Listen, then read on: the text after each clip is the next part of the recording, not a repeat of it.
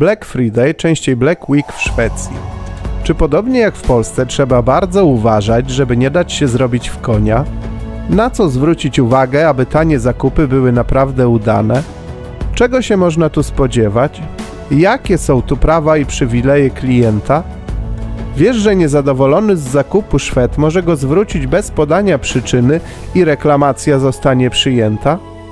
Jakie jeszcze przywileje mają szwedzcy konsumenci?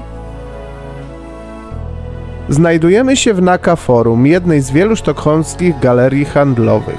Tu zajrzymy do sklepu Power, do niedawna Mediamarkt, tak dla łatwiejszego porównania z polskim odpowiednikiem.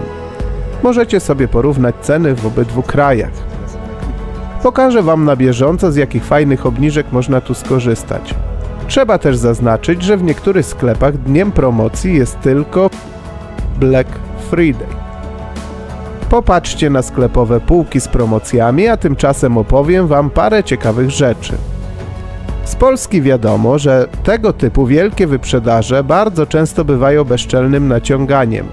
Niejednokrotnie okazywało się, że nieuczciwi sprzedawcy manipulowali cenami, aby tylko dobrze zarobić na swoich klientach, a polskie prawo, delikatnie mówiąc, dopuszczało takie praktyki. Zupełnie inaczej w tym temacie mają się sprawy tutaj. Żadne nieuczciwe zagrywki nie mają tu zastosowania, a nawet najdrobniejsze próby nabijania klientów w butelkę są tu bardzo surowo karane. Kilka lat temu wstecz znana w Polsce Zara omal nie pożegnała się ze szwedzkim rynkiem za podobne przekręty i poniosła olbrzymie konsekwencje finansowe. Ciekawostką na temat praw konsumentów w Szwecji jest to, że mogą oni składać skargi do szwedzkiej agencji konsumentów na problemy na rynkach konsumenckich.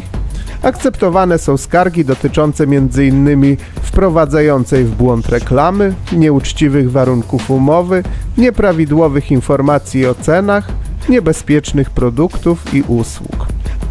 Ale przejdźmy do samych promocji. Jak to wygląda w tym kraju? Tutejszy rynek autentycznie bardzo obniża ceny na wybrane produkty. Sami ocencie, czy opłaca się tu wybrać na zakupy w trakcie Black Week. Wybrane produkty są przeceniane o 30-40%.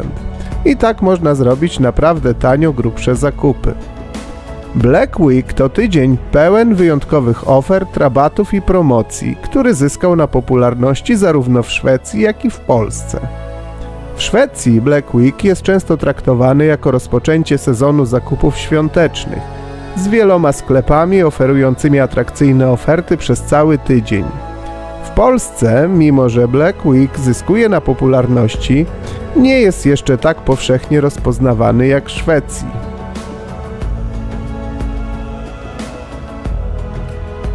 Ciekaw jestem, jakie Wy macie spostrzeżenia na temat święta wyprzedaży. Jakie w ogóle macie poglądy na temat takich zakupów? Może macie jakieś ciekawe doświadczenia z polowań na mega promocje? Zachęcam do podzielenia się nimi w komentarzach. Dziękuję za obejrzenie filmu do końca. Zapraszam do zasubskrybowania kanału, gdyż wielu z Was ogląda, a nie subskrybuje.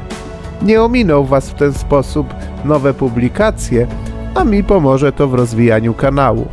Pozdrawiam i do zobaczenia w kolejnych odcinkach.